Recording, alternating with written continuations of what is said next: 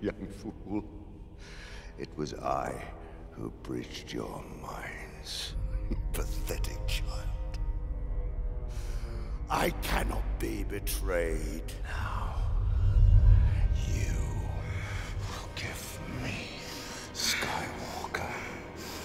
Then I will kill you with the cruelest stroke. No.